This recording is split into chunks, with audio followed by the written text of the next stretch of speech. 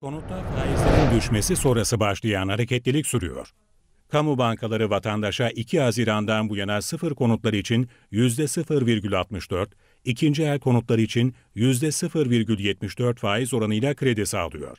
Faizlerin düşüşü sonrası Emlak Konut GYO'da 10 bin konutu kapsayan bir kampanya başlattı. Emlak Konut'un kampanyası yoğun ilgi gördü.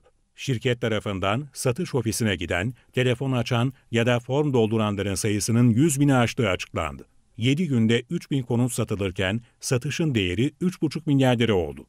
Çevre ve Şehircilik Bakanı Murat Kurum'un açıklamasına göre Guyoder, Konutder ve İnder gibi yüzlerce üyesi bulunan dernekler kampanyaya katılmak istiyor. Ayrıntılar önümüzdeki günlerde netleşecek. Emlak Konut'un kampanyası 26 projeyi kapsıyor. Konut alanlara %10 indirim uygulanırken %5 peşinat imkanı sağlanıyor. Ayrıca ödemeler 2 yıl sonra başlıyor.